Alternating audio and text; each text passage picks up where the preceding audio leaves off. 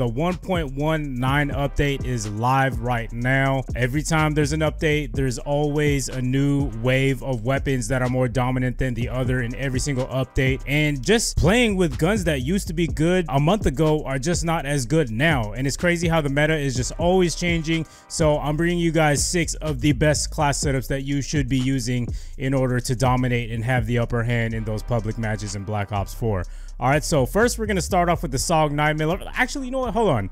If you're not subscribed to the channel and you're watching this video and you saw it in your recommendations, hit that subscribe button, check out my other videos, and most importantly, turn on notifications because I feel like every time I upload, not everybody is seeing my videos because of the oversaturation of channels that are uploading at the same time. And I know you don't want to miss a YouTube video from me. And also leave a comment down below. What are your top six class setups down below in the comments? I'm extremely curious to see what you guys are rocking with this time around in this update. We're going to start off with the Saug 9mm. Now, this is a gun that I did not not include in the last update because I felt like it wasn't as good enough to roll with the other five setups that I had included. Now, for some strange reason, the Saug 9mm is getting a lot more hype nowadays, so I decided to give it a try and I gotta hook you up with this class setup right here. It is absolutely amazing. Now, the thing that I like about the Saug 9mm is that it's a great setup to choose if you're trying to play on small to medium sized maps. Of course, you got to take the gunfight to the enemy instead of trying to challenge from distance because obviously you're using an SMG SMG, it makes a lot more sense to close the gap between you and the enemy and try to win those gunfights head on. And, and that's where the Saug 9mm really shines. It's got a high fire rate. And the thing that's really cool about this class setup is that it's one of the very few submachine guns that are super accurate. You can still drop people from distance, which is absolutely amazing. That's why I like rolling with it. And it's also a very complete class setup as far as attachments. It is attachment heavy, but it definitely does enough to get the job done and it has everything you need. So let's go over it real quick. Uh, we got stock, as you know, mobility is very important in those gunfights. If you're not strafing left and right while you're firing in those gunfights, you are definitely doing it wrong. You got to start getting to the habit of doing that. And stock on the Saug is definitely going to give you that extra mobility and agility in those gunfights that will help you win.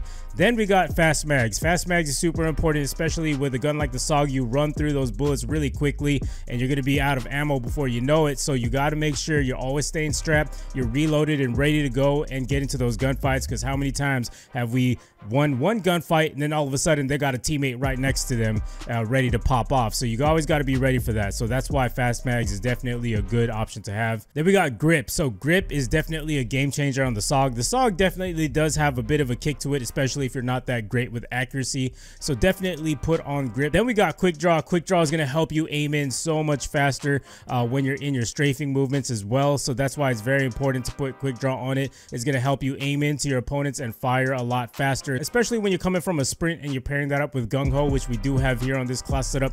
It definitely does give you the upper hand and the jump on the enemy when you're in those gunfights. So I would definitely say quick draw is definitely uh, a good attachment to have on there because without it, you could definitely tell the difference. It's a lot slower. Then I'm using stim shot. This is personal choice. If I'm playing aggressive, it's more natural for me to use stim shot because obviously we're going to get into more frequent engagements and we might be outnumbered at times and we might need to run away in certain situations and nothing's worse than getting shot when you're one shot and you're trying to run away from the situation or you're just trying to get back into action right away. That's why stim shot is definitely a lifesaver and I highly recommend it as well. Uh, perk one, nothing here. So we're going to be using crash on purpose so we can replenish our ammo and use his ammo crate ability at the right times. You got to pay attention to how much ammo you have left. That way you're not just wasting your ammo crate while you're playing the game and you're just putting it down in opportune times when you really need the ammo.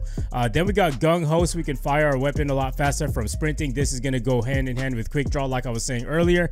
Then I got dead sounds because I don't want to hear my own footsteps and most importantly I do not want the enemy to hear mine. Next setup right here is the Maddox RFB. I feel like in every update you got to have the Maddox in there. It's definitely a mainstay in my opinion. And really the only time I use the Maddox is just when I'm trying to have fun because, you know, the Maddox is definitely an overrated type of weapon because it can be inconsistent at times. That's why I don't really use it.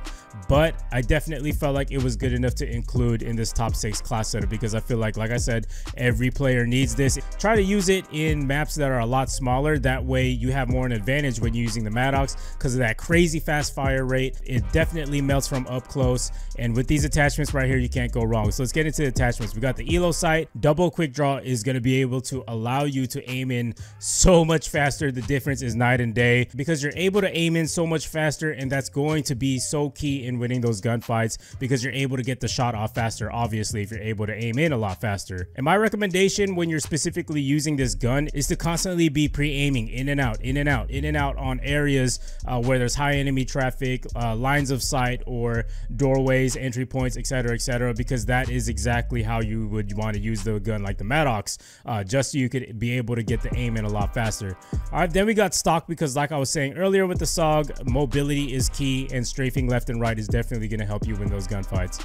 Okay, then I'm rocking Stim Shot because we are playing a lot more aggressive. Then I got Scavenger so I can replenish my ammo, Gung Ho so we can fire faster from sprinting, and Dead Silence. You guys already know why I'm not going to explain the perks again, uh, but the main difference right here is we actually have Scavenger, which is why this Maddox setup is really nice. We're able to use a different specialist if we wanted to because we have a more complete setup. We have all the attachments we need, we got the perfect gear for it, and we got the perfect perk setup on it as well. All right, so moving on. Uh, this one is my main stay class setup. I had a KN57 versus a Vapr suppressor setup. The votes were just completely unanimous. You guys definitely killed it. You guys definitely voted the KN to be the best suppressor setup in the game. And I highly agree with that as well uh, because it, it just feels like it melts a lot faster and it just feels so natural having the suppressor on the KN. So for attachments, I got hybrid mags. You're able to reload faster and it comes with extra ammo by default. Then we got stock so we can strafe left and right in those gunfights. And then we got rapid fire so we can fire more bullets into our enemy and lessen the time to kill. Then we got suppressor. Suppressor is the main reason why I like this class setup. It still is a dominant beast. And this is a setup I would probably use against tryhards or a full party uh, just so I could be able to sneak my score streaks in and be able to just dominate the game by being stealthy and using flanking tactics and just being able to call in all my score streaks a lot faster, which brings me to the Comsec device. This is going to help us earn our score streaks at a discounted rate, which is super key, especially when you're playing a lot more passive aggressive and you're flanking and you're trying to be stealthy. Being able to sneak those kills and stack your score streaks as fast as possible is the reason why I like using Comsec device on every single suppressor class setup. So you guys may be wondering why does he always use Comsec device on suppressor slash stealth class setups? This is why. The more sneaker you are, the easier it is to be able to stack your score streaks a lot faster and then putting on Comsec device. And when you're playing stealthy, you don't need to worry about those one-on-one -on -one confrontations, those head-to-head -head gunfights all the time because you're not playing aggressive. So it wouldn't make sense to use something like Stim Shot. That would be kind of pointless in this class setup. So that's why I use Comsec device and I hope I really explained that well enough for you guys to understand. Perk one, no perk. So we're going to be using Crash again. Using Crash's TAK-5 boost is going to help us get those score streaks a lot faster. Calling in at the right times, you're going to earn all your score streaks maybe all at one time, depending on what you're running. Then of course he has his ammo crate ability, so we don't need scavenger for that. Uh, then we got Gung Ho and Dead Silence. I absolutely love this KN class setup, man. It's so it's it's definitely a staple in almost every single update, and it is proven time and time again that it is the best suppressor class setup, hands down. You guys definitely gotta try it if you have. Okay, then we got the Swordfish. This is my second favorite suppressor class setup. Now the main reason why is because of the operator mod, but we'll get into that in a little bit. Now the thing I like about the Swordfish is that it is great for those long range maps like jungle or icebreaker you know to name a few. Those are good maps that you want to use the swordfish on because this is definitely a laser from distance from medium range. Now when you're playing up close make sure you're playing smart. You're pre-aiming around those corners to be ready for those gunfights. You got to learn how to play smart when you're using each weapon. Try to think about its strengths and weaknesses so that you're not caught up in a situation where you don't know how to utilize the weapon to its maximum potential. For optics i got on the so for optics i got the reflex sight this one is very good on the swordfish. Some people can use it without any sight at all. They like using the default sight. But me personally i like using the reflex on it because it allows me to have a more wider view of vision when i'm aimed in at my opponents. I could see what else is around me and that will help me be able to react a lot faster. Uh, then i got hybrid mags. For the same reason we have it on the kn reloads a lot faster and comes with a lot more ammo. Then we got suppressor so we can stay stealthy and off of that mini map when we're firing our weapon. Then we got the operator mod the Pentaburst, man. You knock down all your shots it's going to be a one burst. I'm not even joking, guys. This is why I really like this class setup. If you haven't tried this setup, you definitely got to try it out. And remember, play it to its strengths. Don't be stupid and just run around and rush and try to get into gunfights and close quarter combat. That's just not how it works. You got to use it smartly. All right, then we're going to pair it up with Comsec device for the same reasons that we did with the suppressor class setup on the KN. No perk one. Then we got Gung Ho and Dead Silence. So we got to use Crash with this class setup as well. Definitely a great alternative if you're looking for a, uh, oops, if you're looking for a long distance type of weapon that is still going to help you remain stealthy and under the radar. This is definitely the way to go. I love the swordfish. All right, so next weapon, this would not be a 1.19 setup without the grav, man. I got to include the grav. Now, I'm to admit to you guys at first, I didn't really think it was that great, but they did buff it, I believe. Now, let me clear something up. It may have seemed like I was complaining about the grav, that it sucked or something like that. But what I meant was like for a weapon that they hyped up to reach 15 million matches for, I expected a super overpowered weapon. That's all I was saying. I didn't really say that the grav was a bad weapon. It's actually a pretty good, decent gun. I've actually been melted by it so many times in public matches. So that's why I feel like the grav definitely deserves to be in this update video right here. Uh, so if you want to make it as overpowered as hell, definitely put on double grip. That's definitely going to make it into a laser similar to the ICR7 so that when you're firing in those gunfights and you're getting hit, you're not going to flinch because of grip too. Uh, then we got stocks so we can be a lot more mobile and strafe left and right. Then I got quick draw so we can aim in our weapon a lot faster and speed is going to be everything because definitely without stock or quick draw on this weapon, it just feels too slow and sluggish. And that's why quick draw and stock are definitely going to be key attachments to this weapon. Now, of course, it depends on your playstyle, but obviously you want to play how you would with an AR. Uh, definitely this gun is good on medium to long range maps. Smaller maps, obviously you want to play a lot smarter, pre-aim around those corners like I was saying earlier with the swordfish. Then I got stim shot because we're going to be playing a little bit more aggressive with this class setup. So being able to heal a lot faster is going to be key. Perk one, no perk here. Perk 2, I got Gung Ho and Dead Sound, so we're going to be using Crash again. Now, this is one of those setups where you could be a little bit more uh, diverse. If you want to, if you don't care about your footsteps, you can definitely replace that for Scavenger, and that will be able to open up different possibilities for what specialists you use. Again, you can mix and match whatever you want, but as far as the attachments go, I feel like these are super important to have. This is just personally my opinion and what I've gained from experience. All right, so the last and final setup, guys, I cannot go making this video without including the Rampart 17. The Rampart 17 I feel like is king.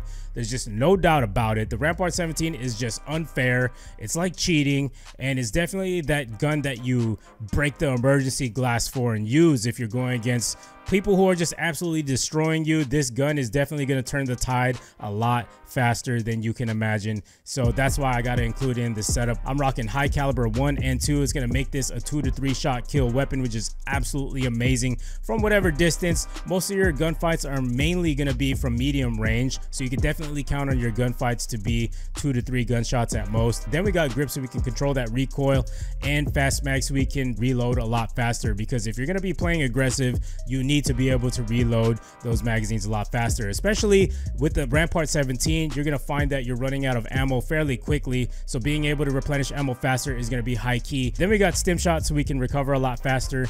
Then I got no perk for perk one, gung ho, and dead silence. Again, you can switch around the perks, mix and match to whatever you like. But as far as the attachments goes here, I believe that these are the best attachments for the Rampart 17. All right, so a wild card class setup that I have. Now, the reason why I didn't include it in the main top six is because not everybody has the DLC weapons. I wanted to make something that everybody can use. Now, if you have the Daemon, this is a definitely great class setup to use. I got double high caliber and I got hybrid mags. Then we got Helion Salvo to take down those nasty UAVs that everybody keeps calling in. It's definitely going to help you and your team out stay alive a lot longer and prevent the team from gaining any momentum. Then we got Stim Shot because we are playing a little bit more aggressive with this class setup. Scavengers so we can replenish ammo, Gung Ho, and Dead Silence. So yeah guys, those are my top recommendations of weapons to be using. You got everything from aggressive class setups to more reserved stealth flank suppressor class setups.